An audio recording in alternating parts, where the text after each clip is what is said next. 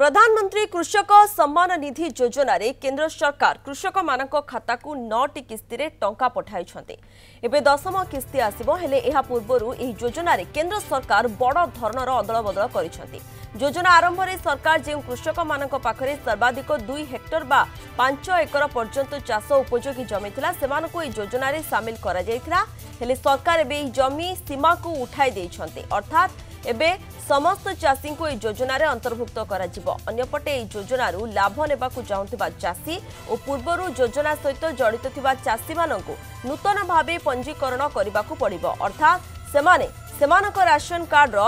soft କପିକୁ ପୋର୍ଟାଲରେ upload କରିବାକୁ ପଡ଼ିବ ଯାଞ୍ଚ ପରେ ପରିବାର କୌଣସି ସଦସ୍ୟଙ୍କୁ ଏହି ଯୋଜନାର ଲାଭ ମିଳିବ ଯଦି ଆପଣ ପ୍ରଥମରୁ ପଞ୍ଜୀକରଣ କରିସାରିଛନ୍ତି ତେବେ ଆପଣ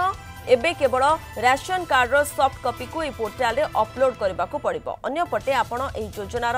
লাভ পাইবা চাহুলে আপনার পাখে আধার কার্ড থাকা জরুরি নচেত আপনার যোগ্য বিবেচিত হবে না